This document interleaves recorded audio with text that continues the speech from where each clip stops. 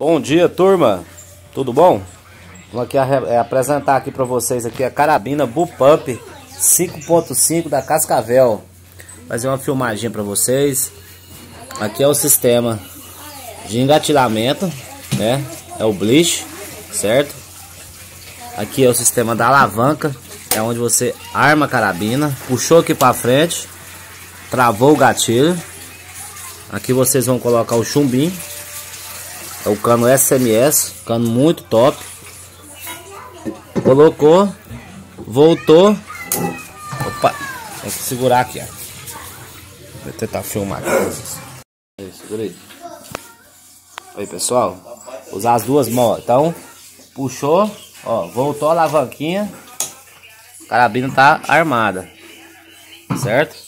Então ela tá no pente aqui no jeito de atirar, ó. Aqui, ó, o sistema de trava. Puxou aqui, ó. Ó. Ó. Travou.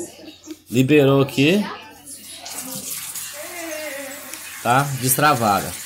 Vamos travada aqui para nós fazer o resto da filmagem. Aqui eu tô usando uma luneta. Essa aqui é o bipézinho da outra carabina. E a luneta que eu tô usando a Diana, 6 por 24 por 50, luneta muito top. O cilindro, 180 cc.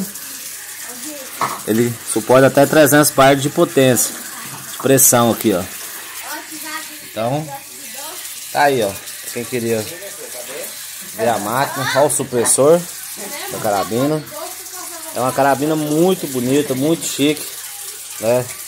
Sistemazinho dela da válvula IU né?